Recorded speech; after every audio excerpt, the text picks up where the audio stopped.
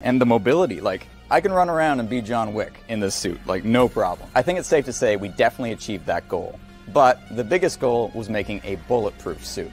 So after almost a year of hard work, it's time to shoot this thing. Now, obviously, I'm not going to wear the suit when we're testing it because that would be insanely stupid. We've got this mannequin who volunteered to have all his ribs broken. It goes without saying, do not try this at home, do not try and make your own armor, and certainly do not test it. Spent a year building a bulletproof suit, and it stopped, it stopped a bullet. I'm gonna send three more downrange into each vest. Going on to ours. We'll check this guy first. I don't know what you're expecting. It, it is a bulletproof vest. So together, they're even more bullet resistant.